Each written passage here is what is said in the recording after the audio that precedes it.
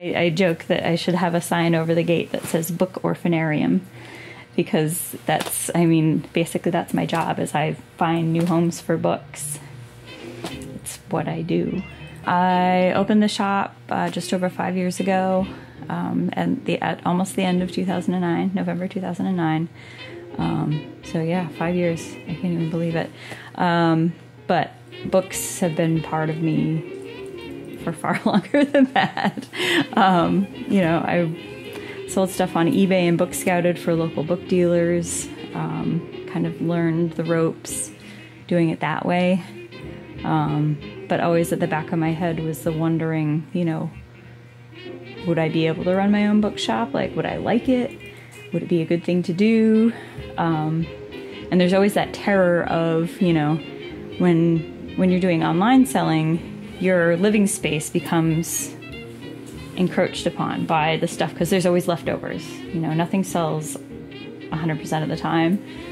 And so I was always worried that if I encouraged my my book addiction, you know, that craving, um, that I would get myself in trouble. But actually, the shop has been really helpful because my home library is very nice and trim now because I know I can get almost anything I want again later because I'm good at finding books. People ask me all the time if um, if the day of the book is over, people aren't reading anymore. Is that the case? Are kids reading? Um, but I can say with full confidence that people are still reading. People still want books. Even people who own Kindles, if they like a book enough, they're gonna come and get the real thing once they read it on the Kindle because it's a different experience. It's paper and ink, it's something you can hold on to, something you know you have. Virtual books are great because they don't take up any space, but at the same time, you don't get to see it, you don't get to fill your home with it. It's it's like little flags of things that you're interested in, things that you love, things that make you happy.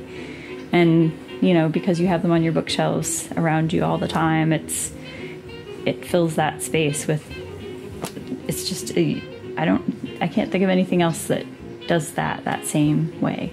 They're signifiers of points in your history, like when you read that book, what were you doing? Who were you spending time with? What amazing thing did you realize as you were reading it that might have changed your life and continues to change it? It's each book holds something for you. Um, we're we're very funny creatures. We we like things. I've become a very firm believer in, um, you know, kind of circulating your library. I have a lot of people who trade books into me or sell me books, and I feel like at least once a year or so, it's really good to just sort of look at what's on your shelves and cull a little bit, circulate the library. It seems a lot more healthy that way because there's always there's always deadwood. You know, there's always stuff that you know you're not going to read again, or something that you've your interest in it is past, that time has come and gone, the world has moved on. So then the book can go to a new home and somebody else will love it and read it and have their own experience with it. So that's that's the great thing about used bookstores is it's a constantly flowing body. It's very organic. It changes all the time.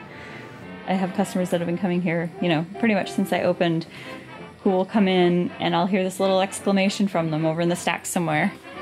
And I'll flip to see what's going on, and they're like, you have a whole section of blah blah blah. I never knew. and so they spend the next two hours digging through, you know, whatever section it is they that they're very excited about that they didn't know I had. So there's little there's stuff tucked in every corner. Let's just put it that way. Like if people are like, oh, how many of these have you read? Like this much, which is totally true because there are way too many books. There are not enough hours in the day, um, even to read the ones that I really, really want to read. So so I read what I can and but I also I'm always paying attention to what other people are reading, how they're responding to it, how they relate it to other books because you, you need to be able to sort of jump make those little jumps you know. If somebody asks you if somebody comes up to the counter and is like i have no idea what to read next that's like the most challenging thing because it's all guesswork. You kind of have to intuit your way through it. You find out what they've been reading that they liked, what they might be in the mood for now, and sort of try to, out of that, craft some sort of amalgamation, some sort of alchemy of well these here these this dozen books might you might find the one in there and it seems to work pretty well you have to kind of be in the right groove and it kind of takes a little bit of warming up sometimes but it's it's a very strange process and you can't you can't really teach it like you have to just sort of learn how to do it and i think most people who haven't been here yet are surprised when they walk through the door because the front of the shop, the facade on Congress Street, doesn't really tell you what's in here. And when you step through that door and you see linear foot after linear foot and up to the ceiling books of all types, most people, the first thing they say, wow, you have a lot of books. Like, yes, yes, I do. More every day. so, you know, so if you haven't been in because you didn't think there was a lot here or there wasn't going to be what you wanted, you should come on in and check it out because I, literally I have a little bit of everything, and what I don't have now, I'll probably have a month or two from now, it because it constantly flows, and I get new books in all the time.